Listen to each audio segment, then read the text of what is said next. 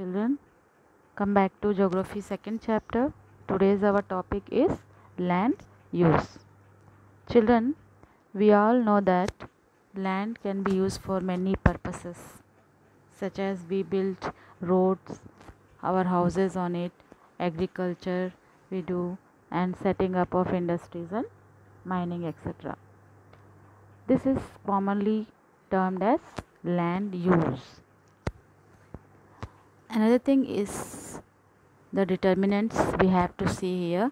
Physical factors like soil climate topography mineral water availability etc and another thing is there human human factors such as population and technology.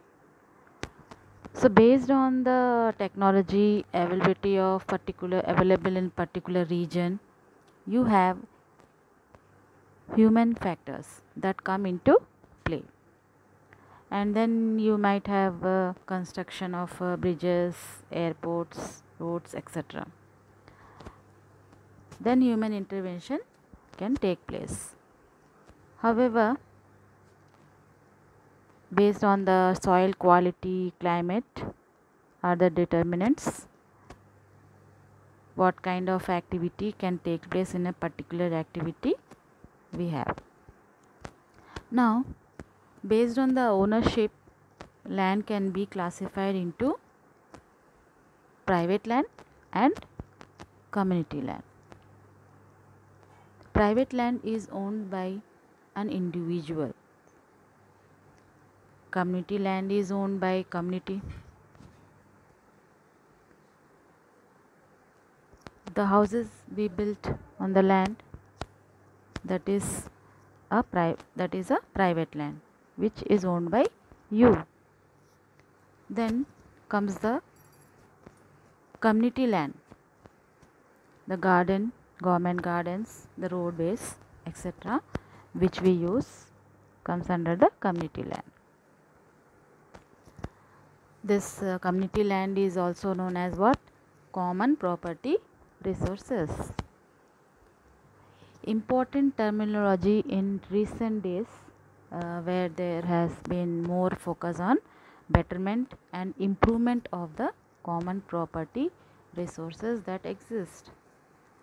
And uh, funding for these common property resources uh, from where it comes? It come from local bodies. For example municipal corporation of the city would look after it and uh, in villages and all panchayat look after it.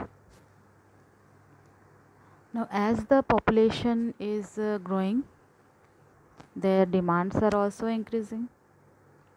But the land is limited. People started buildings commercial complexes housing complexes and also they expanded the agricultural land in the rural areas. So land degradation landslides soil erosion defor- de- de- desertification are the major threats to the environment today. Because of these agriculture expansion of agriculture and uh, construction of the different activities we have today see the picture given here.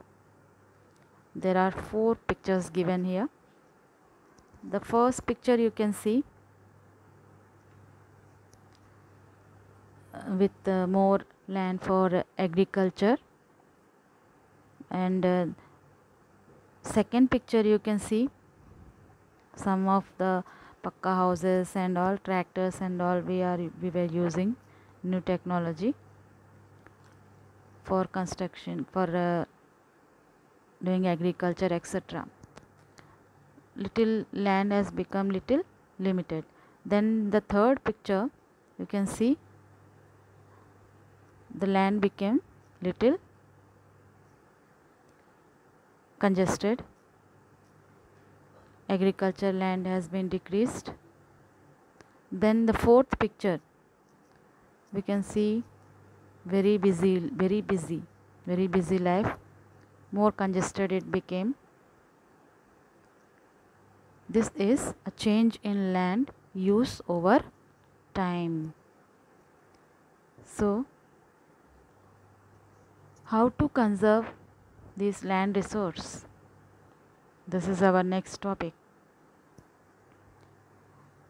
So with the growing of population the demands are also grown. So there is a large destruction of forest cover and arable land. This thing has created a fear in the laws of this land resource. So what is the solution for this? How can we conserve it? The present rate of degradation of land must be checked. When we come to land degradation. What is the solution? That we should plant more and more trees. And also we should limit the use of chemical fertilizers and pesticides which can decrease the fertility of soil. Then also, then again one more thing is that you can we have to check the overgrazing these are, are some common methods used to conserve the land resources